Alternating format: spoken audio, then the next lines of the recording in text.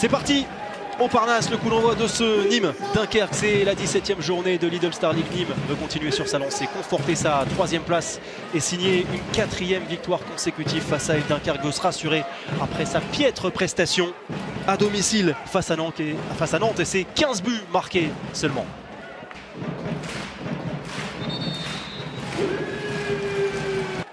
Dunkerque avait pas parfaitement débuté avec deux buts assez rapidement en moins de deux minutes et depuis euh, le petit coup d'arrêt, le pastis superbe. Rémi Desbonnets qui enflamme son début de match après 7 minutes. Superbe. Entre à l'opposé de Mohamed Sanad, Aquevillo, oh superbe, superbe ce tir de Jean-Jacques Aquevillo qui n'est pas attaqué au-delà des 9 mètres et qui trouve la lucarne. Pression en fin de match et finalement échoué à deux longueurs, 30-28 Allez, ils prennent leur temps. Magnifique, magnifique. Le talent, le Schwenker, sublime. Daniel Langaro.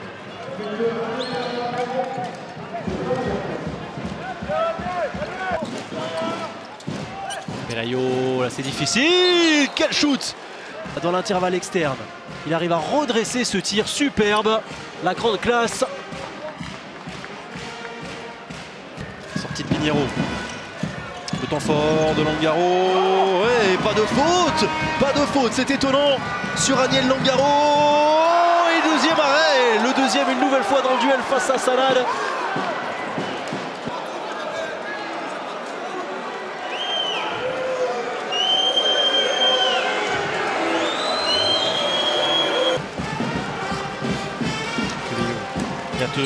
Toby, par en dessous Superbe shoot, la pépite. Une mine envoyée par O'Brien Niateux, pleine lucarne, quel tir en appui stratosphérique. Oh le tir, oh quel shoot, quel shoot superbe. En plus il est déséquilibré, poussé dans le dos, O'Brien Niateux, c'est un bijou. Oh la pépite envoyée. La pépite envoyée par Aniel Langaro là aussi. le croisé. Prandi.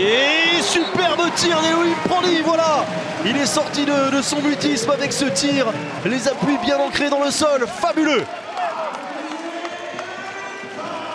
Oh là là là là, quelle classe Oh Il n'a pas eu le temps de bouger Samir Benassel, quel tir encore quel euh, missile envoyé par euh, Elohim Prandi. Oh là là là là là là là la vitesse d'exécution. Regardez, il est presque arrêté. Oh, ça déménage. Oh, ça c'est bien répondu. Ça c'est très bien répondu de la part de Kaleraim, le capitaine, en appui pour battre José Basnik.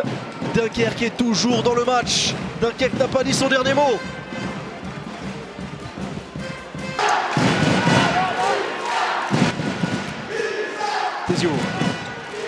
Avec Prandi Tout en force, Elohim Prandi Il ne peut qu'effleurer ce ballon, Samir Bellassène Et oui, il a marqué des buts capitaux, spectaculaires, Elohim Prandi, mais qui vont compter, qui comptent pour l'instant dans cette fin de match. Plus 2 pour Nîmes, ce n'est pas fini encore. Dunkerque pour rester en vie à une possession désormais capitale.